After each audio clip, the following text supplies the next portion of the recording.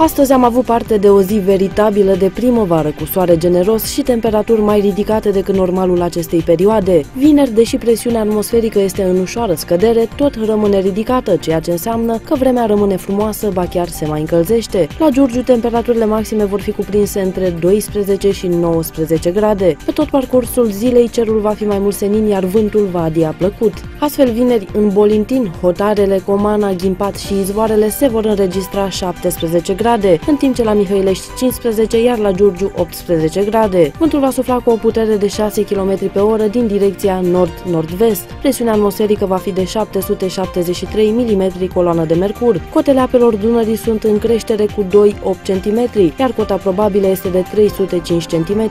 Umiditatea aerului va fi de 46%.